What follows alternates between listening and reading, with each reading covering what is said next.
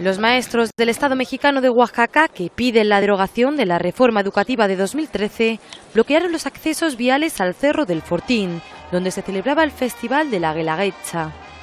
Miembros de la sección 22 de la Coordinadora Nacional de Trabajadores de la Educación tomaron camiones de transporte urbano y bloquearon el paso de los vehículos por las tres entradas al cerro, pero los turistas consiguieron acceder caminando.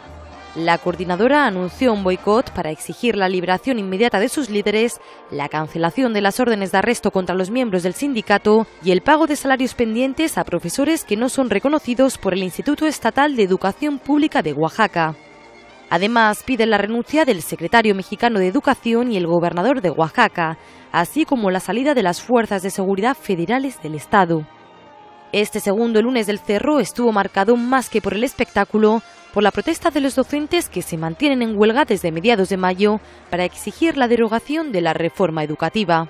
Los docentes han mantenido durante varios meses diálogo con el gobierno federal, pero hasta ahora no han dado los resultados esperados por el sindicato.